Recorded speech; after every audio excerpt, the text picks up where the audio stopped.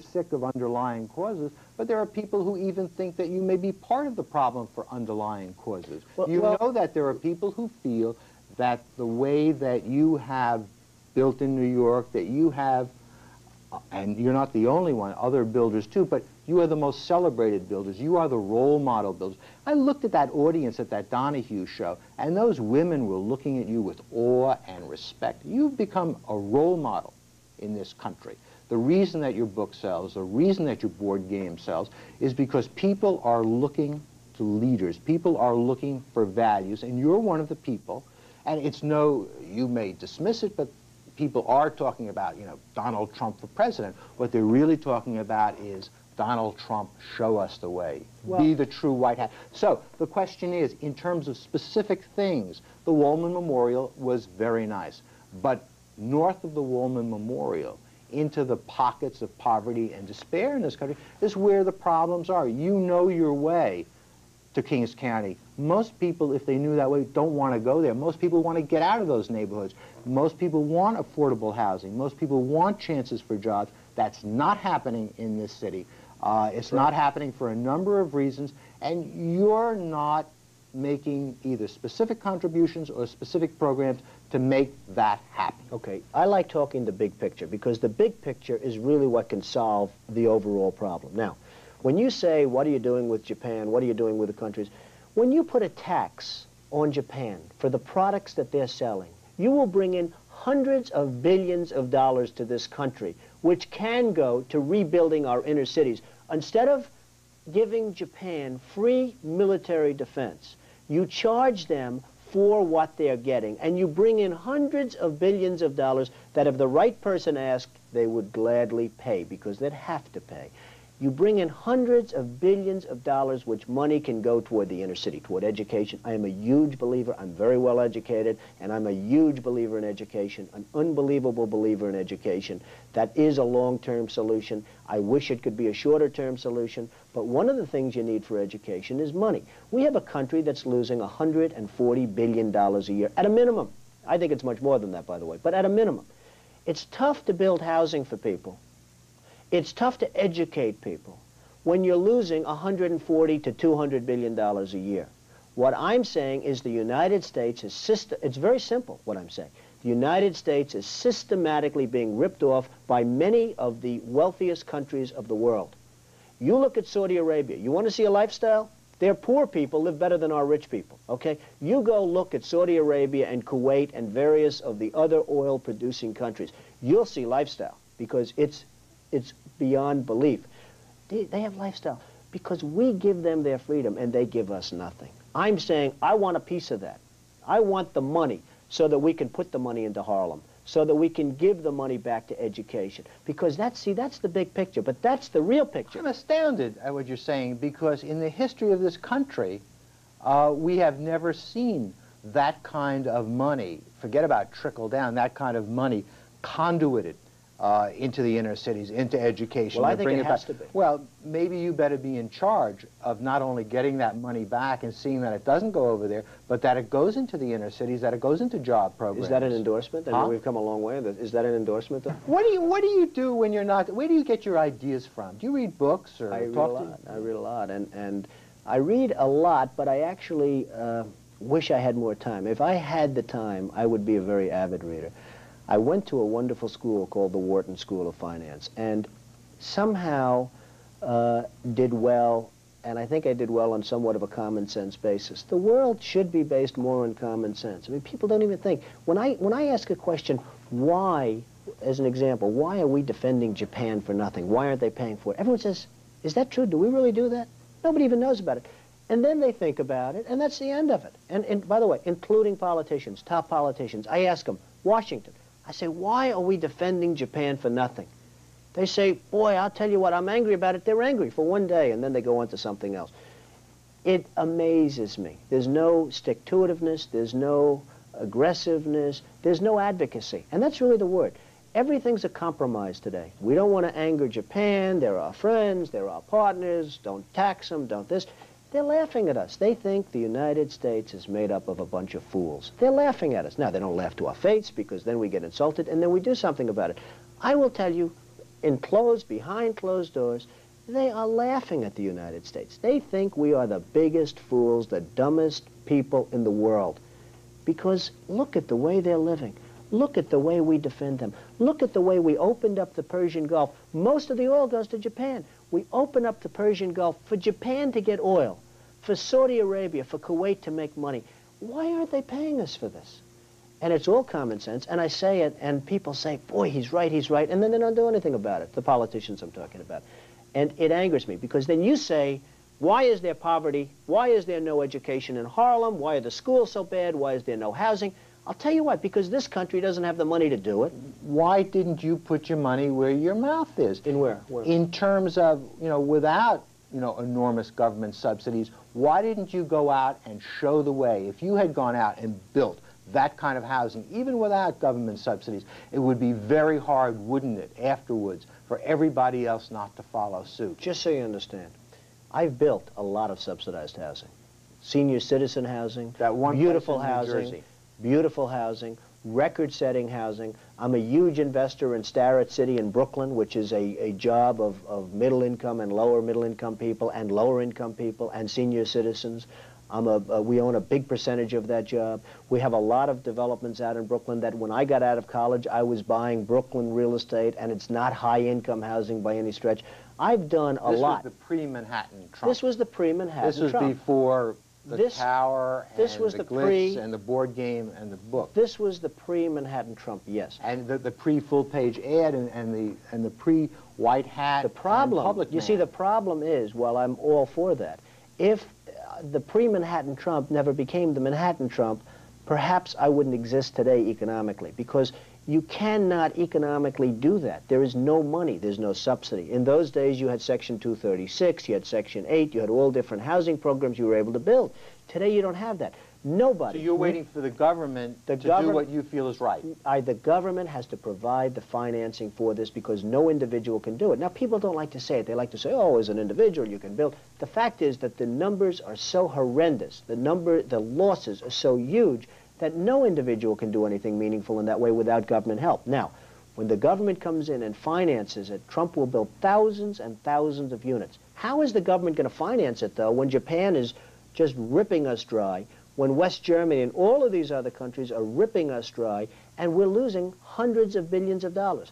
We have to strengthen up the federal government, and the programs have to filter back into the cities. Donald, you're waiting for me, because when you talk about the government, you're talking about my tax dollars, my puny tax dollars, going to you as tax abatements or subsidies Look at to put up low, low-income and middle-income housing, which I would certainly be willing to do if, if somebody was going to do it. Look at it differently. Look at it really differently. Okay. I want to tax Japan. I don't want to tax you. Mhm. I want to tax West Germany. I want to tax Saudi Arabia. We keep them alive. If it weren't for us, they wouldn't even be here. They wouldn't exist. I mean, to think that Saudi Arabia would not allow us to use their minesweepers to police their own Persian Gulf is beyond me. I want to tax Saudi Arabia for the job we do in keeping them alive. They wouldn't be here for 20 minutes if we ever said, you're on your own, baby. I want to get the money from. I I'm not looking to tax you, and I know you're very conscious of being taxed, obviously. But No, I'm- I don't, I'm I'm not looking to tax If, you. if my if my tax dollars uh, were going not to patrol those waters, but were going directly to you to build low-income housing, I'd be thrilled. I would give you the money right now directly. L- but let I think there's something ingenuous What I'm in saying- building this kind of straw what I'm saying is people, there's these no straw straw. countries, because we know that in the kind of multinational complications of the conglomerates, it's not so simple anymore. Very simple. It's so simple, you have no idea. I you will don't. tax How? Japan, you will tax West Germany, you will tax their products. People are still going to buy their products. And frankly, you're going to tell people, you're going to tell the American people, hey, look, they make a wonderful product, but you're going to have to pay a premium. You're going to absolutely have to pay a premium if you want to buy a Mercedes-Benz. You want to know something? West Germany won't even lose that much business, and this country will take in billions and billions of dollars. So you say to the American, look, we'd really rather have you buy an American car, but if you feel strongly that you like the West German product better, or you like the Japanese product, you're going to have to pay a tax on it. You have a choice. You can pay a tax on it. You'd be surprised at how little business they're going to lose, and you'll be amazed at how much money comes into our coffers. And you'll also be surprised at another thing. Japan and West Germany and Saudi Arabia, all these, they'll start respecting us. Because right now, they have absolutely no respect for the United States. They do not believe what they're getting away with. and they've gotten away with it for years. What did your friend George Bush say when you outlined this to him? I believe that George Bush and a lot of other people, and George Bush is a friend, but I believe that they just don't want to make waves. They don't want to broach the subject. They don't want to become, as I said before, advocates. They want to sort of just keep it the way it is. So what chance the do we have? The problem that I have with that is that I don't believe you can keep it the way it is. See, I don't believe that a country can continue to lose perhaps 200 billion a year. I really don't. Now, nobody knows what's going to happen. Who knows, really? I mean, nobody, the economists, I think it's a wasted profession as far as I'm concerned because I've never seen one that's consistently right. But nobody knows what's going to happen. But I'm, again, somebody that has a good instinct financially. I have had historically. I've followed markets. I've been going the right direction, I, whether it's New York real estate or stocks or whatever. I know from a common sense financial standpoint that something has to burst. When a country is losing billions and billions and billions of dollars a year, and when other countries are making hundreds of billions of dollars, something is going to burst, and it's going to start here. I know it. It's a question of when. To me, it's not a question if, it's a question of when. And unless we're going to solve our problem, and the problem is caused by our allies, unless we're going to solve that problem, this country is in very, very big trouble. And I'm not talking recession kind of trouble, I'm talking depression kind of trouble, and that's when we'll get smart. It's very interesting with the United States. What would happen to Donald Trump in a depression? Well, Donald Trump gets hurt like everybody else gets hurt. Donald Trump, uh, who knows? Uh, I have, I'm a very conservative guy. I believe in having cash as opposed to a lot of other people that don't have cash. I have wonderful properties. I have wonderful everything. Uh, Donald Trump gets hurt, everybody gets hurt, the whole country goes, Well, before- essentially the country this- goes somewhat down the tubes. Before and I'll tell this you, happens, let me, let me ask Yes. you this, this question. By the power invested me in WNET, I make you in charge. The Donald is running the show. I've come a long way with you. Would you do it?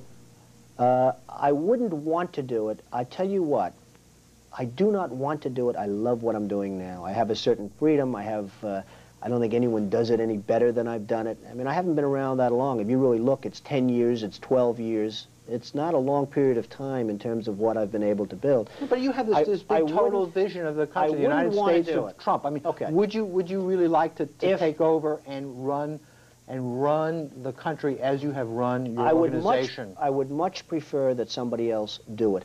I just don't know if the somebody else is there. I don't know if we have the kind of advocate that you need. We need major surgery. This country needs major Are surgery. Are you the surgeon? I think I do a fantastic job, but I really would prefer not doing it. Uh-huh. Is are, are you saying you will take it only if drafted? No, I'm not saying that. I'm saying that I hope that somebody comes along who can be an advocate, and I think that somebody will be so popular he'll. But you be- haven't seen He anybody. or she Yeah. will be the most. But uh, I don't see it now. I wish that person were there. I don't know how much longer we have. But again, I do know one thing. It's not a question. This country is losing hundreds of billions. It's not a question if, it's a question when. It is going to happen. It's going to happen drastically, it's going to be dramatic, and it's going to be horrible. And I'll tell you the other thing. This country has always reacted best under adverse conditions, whether it's wars or anything else. That's when, unfortunately, we're going to wake up. I'd like to see the country wake up long before that. Mm-hmm. An ominous prediction, but hope in the future. This is the 11th hour. We know that in the kind of multinational complications of the conglomerates, it's not so simple anymore. Very simple. It's so simple, you have no idea. I you will tax How? Japan, you will tax West Germany, you will tax their products. People are still going to buy their products. And frankly, you're going to tell people. You're going to tell the American people, hey, look, they make a wonderful product, but you're going to have to pay a premium. You're going to absolutely have to pay a premium if you want to buy a Mercedes-Benz. You want to know something? West Germany won't even lose that much business, and this country will take in billions and billions of dollars. So you say to the American, look, we'd really rather have you buy an American car, but if you feel strongly that you like the West German product better, or you like the Japanese product, you're going to have to pay a tax on it. You have a choice. You can pay a tax on it. You'd be surprised at how little business they're going to lose, and you'll be amazed at how much money comes into our coffers. And you'll also be surprised at another thing. Japan and West Germany and Saudi Arabia, all these, they'll start respecting us. Because right now, they have absolutely no respect for the United States. They do not believe what they're getting away with, and they've gotten away with it for years. What did your friend George Bush say when you outlined this to him? I believe that George Bush and a lot of other people, and George Bush is a friend, but I believe that they just don't want to make waves. They don't want to broach the subject. They don't want to become, as I said before, advocates. They want to sort of just keep it the way it is. So what chance the do we have? The problem that I have with that is that I don't believe you can keep it the way it is. See, I don't believe that a country can continue to lose perhaps 200 billion a year. I really don't. Now, nobody knows what's going to happen. Who knows, really? I mean, nobody, the economists, I think it's a wasted profession as far as I'm concerned because I've never seen one that's consistently right. Mm-hmm. But nobody knows what's going to happen. But I'm, again, somebody that has a good instinct financially. I have had historically. I followed markets. I've been going the right direction, I, whether it's New York real estate or stocks or whatever. I know from a common sense financial standpoint that something has to burst when a country is losing billions and billions and billions of dollars a year, and when other countries are making hundreds of billions of dollars, something is going to burst. And it's going to... ad and, and the, and the pre-white hat The problem, public you see, the problem is, well, I'm all for that. If uh, the pre-Manhattan Trump never became the Manhattan Trump, perhaps I wouldn't exist today economically because you cannot economically do that. There is no money. There's no subsidy. In those days, you had Section 236, you had Section 8, you had all different housing programs you were able to build. Today, you don't have that. Nobody. So you're waiting for the government The to do what you feel is right. I, the government has to provide the financing for this because no individual can do it. Now, people don't like to say it. They like to say, oh, as an individual, you can build. The fact is that the numbers are so horrendous. The number, the losses are so huge that no individual can do anything meaningful in that way without government help. Now, when the government comes in and finances it, Trump will build thousands and thousands of units. How is the government going to finance it, though, when Japan is just ripping us dry, when West Germany and all of these other countries are ripping us dry, and we're losing hundreds of billions of dollars? We have to strengthen up the federal government, and the programs have to filter back into the cities. Donald, you're waiting for me, because when you talk about the government, you're talking about my tax dollars, my puny tax dollars, going to you as tax abatements or subsidies Look at to put up low, low income and middle income housing, which I would certainly be willing to do if, if somebody was going to do it. Look at it differently. Look at it really differently. Okay. I want to tax Japan. I don't want to tax you. Mhm. I want to tax West Germany. I want to tax Saudi Arabia. We keep them alive. If it weren't for us, they wouldn't even be here. They wouldn't exist. I mean, to think that Saudi Arabia would not allow us to use their minesweepers to police their own Persian Gulf is beyond me. I want to tax Saudi Arabia for the job we do in keeping them alive. They wouldn't be here for 20 minutes if we ever said, you're on your own, baby. I want to get the money from. I I'm not looking to tax you, and I know you're very conscious of being taxed, obviously. But No, I'm- I don't, I'm I'm not looking to tax If, you. if my, if my tax dollars uh, were going not to patrol those waters, but were going directly to you to build low-income housing, I'd be thrilled. I would give you the money right now directly. L- but let I think there's something ingenuous What I'm in saying- building this kind of straw what I'm saying is people, there's these no straw straw- countries, because they're sick of underlying causes. But there are people who even think that you may be part of the problem for underlying causes. Well- you well- know that there are people who feel that the way that you have built in New York, that you have, and you're not the only one, other builders too, but you are the most celebrated builders. You are the role model builders. I looked at that audience at that Donahue show, and those women were looking at you with awe and respect. You've become a role model in this country. The reason that your book sells, the reason that your board game sells, is because people are looking to leaders. People are looking for values, and you're one of the people. And it's no, you may dismiss it, but people are talking about, you know, Donald Trump for president. What they're really talking about is Donald Trump, show us the way. Well- Be the true white hat. So the question is, in terms of specific things, the Wollman Memorial was very nice.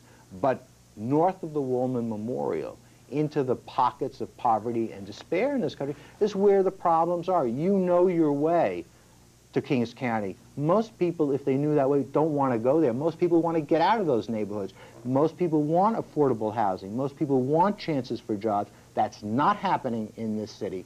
Uh, it's not happening for a number of reasons, and you're not making either specific contributions or specific programs to make that happen. Okay, I like talking the big picture because the big picture is really what can solve the overall problem. Now, when you say, what are you doing with Japan? What are you doing with the countries? When you put a tax on Japan for the products that they're selling, you will bring in hundreds of billions of dollars to this country, which can go to rebuilding our inner cities. Instead of giving Japan free military defense, you charge them for what they're getting, and you bring in hundreds of billions of dollars that if the right person asked, they would gladly pay because they'd have to pay. You bring in hundreds of billions of dollars, which money can go toward the inner city, toward education. I am a huge believer. I'm very well educated, and I'm a huge believer in education, an unbelievable believer in education. That is a long-term solution. I wish it could be a shorter-term solution, but one of the things you need for education is money. We have a country that's losing $140 billion a year, at a minimum. I think it's much more than that, by the way, but at a minimum. It's tough to build housing for people it's tough to educate people when you're losing 140 to 200 billion dollars a year. What I'm saying is the United States is system it's very simple what I'm saying. The United States is systematically being ripped off by many of the wealthiest countries of the world. You look at Saudi Arabia. You want to see a lifestyle? Their poor people live better than our rich people, okay? You go look at Saudi Arabia and Kuwait and various of the other oil-producing countries. You'll see lifestyle because it's it's beyond belief. They, they have lifestyle because we give them their freedom and they give us nothing. I'm saying I want a piece of that. I want the money so that we can put the money into Harlem, so that we can give the money back to education. Because that's, see, that's the big picture, but that's the real picture. I'm astounded at what you're saying because in the history of this country, uh, we have never seen that kind of money, forget about trickle down, that kind of money conduited uh, into the inner cities, into education. Well, I think bring it, it has back. to be. Well, maybe you better be in charge of not only getting that money back and seeing that it doesn't go over there, but that it goes into the inner cities, that it goes into job programs. Is that an endorsement? I huh? mean, we've come a long way. Is that an endorsement? Though? What do you What do you do when you're not? Where do you get your ideas from? Do you read books or I read a talk lot. I read a lot, and and I read a lot, but I actually uh, wish I had more time. If I had the time, I would be a very avid reader. I went to a wonderful school called the Wharton School of Finance and somehow uh, did well, and I think I did well on somewhat of a common sense basis. The world should be based more on common sense. I mean, people don't even think. When I, when I ask a question, why, as an example, why are we defending Japan for nothing? Why aren't they paying for it? Everyone says, is that true? Do we really do that? Nobody even knows about it. And then they think about it, and that's the end of it. And, and by the way, including politicians, top politicians. I ask them, Washington, I say, why are we defending Japan for nothing? They say, boy, I'll tell you what, I'm angry about it. They're angry for one day, and then they go on to something else. It amazes me. There's no stick-to-itiveness. There's no aggressiveness. There's no advocacy. And that's really the word. Everything's a compromise today. We don't want to anger Japan. They're our friends. They're our partners. Don't tax them. Don't this. They're laughing at us. They think the United States is made up of a bunch of fools. They're laughing at us. Now, they don't laugh to our face because then we get insulted and then we do something about it. I will tell you, in closed, behind closed doors, they are laughing at the United States. They think we are the biggest fools, the dumbest people in the world. Because look at the way they're living. Look at the way we defend them. Look at the way we opened up the Persian Gulf. Most of the oil goes to Japan. We open up the Persian Gulf for Japan to get oil, for Saudi Arabia, for Kuwait to make money. Why aren't they paying us for this? And it's all common sense. And I say it, and people say, boy, he's right, he's right. And then they don't do anything about it, the politicians I'm talking about. And it angers me because then you say, why is there poverty? Why is there no education in Harlem? Why are the schools so bad? Why is there no housing? I'll tell you what, because this country doesn't have the money to do it. Why didn't you put your money where your mouth is? In where? where? In terms of, you know, without, you know, enormous government subsidies, why didn't you go out and show the way? If you had gone out and built that kind of housing, even without government subsidies, it would be very hard, wouldn't it, afterwards, for everybody else not to follow suit. Just so you understand, I've built a lot of subsidized housing. Senior citizen housing, that one beautiful housing, beautiful housing, record-setting housing. I'm a huge investor in Starrett City in Brooklyn, which is a, a job of, of middle income and lower middle income people and lower income people and senior citizens.